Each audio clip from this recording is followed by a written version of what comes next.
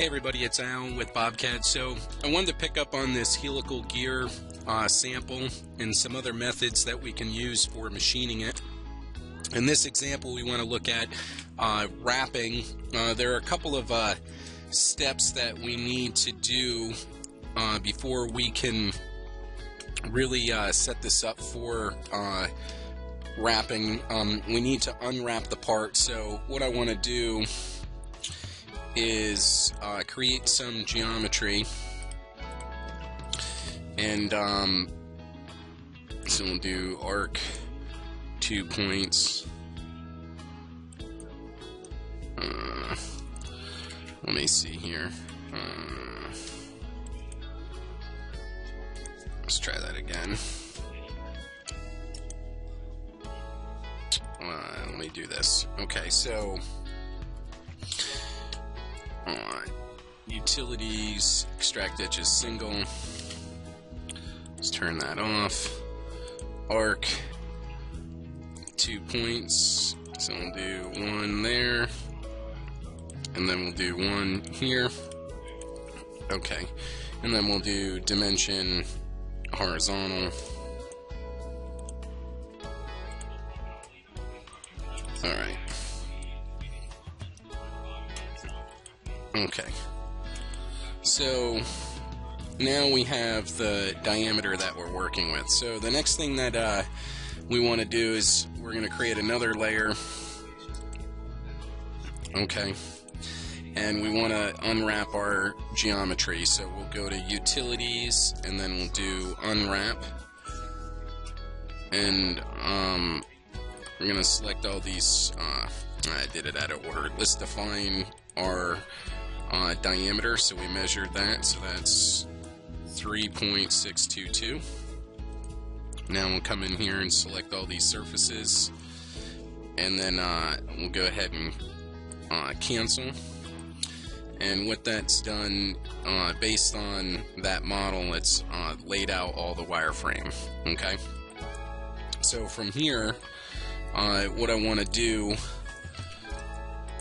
there's some lines that don't quite match up, so we're going to just select those and delete them.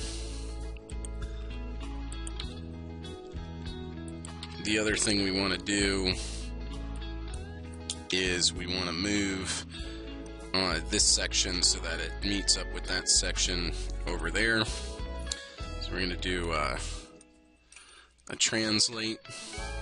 Actually, before we do that, you can see this is all interpolated. It's all little sections.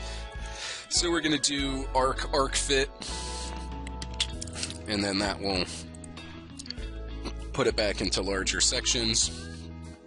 This is utilities, translate, pick, pick, and we're going to take this section from here to here, and we're going to move it from here uh, over to Okay. There must have been another line that, that I deleted, but that's fine. Okay, so now, so that's the shape, you know, unwrapped. So what I want to do from here is I'm going to go back to a top view here, and uh, I want to grab just like a section of this. So I'm going to grab this one, this one, these these sections here and then we'll do from here to here.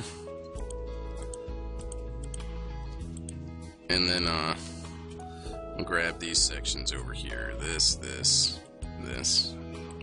Alright and uh, what we're gonna use this for I'm gonna just uh, change the color that it is. Let's go to yellow. Alright, and then we're gonna move the yellow geometry over to its own layer. And then we'll turn that layer off. Okay. So now from here, this section I'm going to get rid of these internal lines because I don't need those. And then now I'm going to generate a uh, skin surface. So I'll throw a skin on it. So we'll make this blue and then we'll do a skin. So we'll do surface, skin. We're to go from here to there, from here to there, here to there, here to there. Okay, so now we have this skin. Alright, so now from there, we're to take this skin and we're to make some copies. So we're going to do utilities, translate, sketch enter, copy. Uh, we'll just say one for now, that's fine. So we'll select. Uh, okay, let me. Uh, I'm going to break it down to surfaces first. So we'll do utilities, uh, stitching, unstitched solid to surfaces. Okay. Then we're going to do utilities, translate, copy. We're going to grab this surface, this surface, this one, this one, this one, and this one. Okay. And then we're going to copy it from the end of that.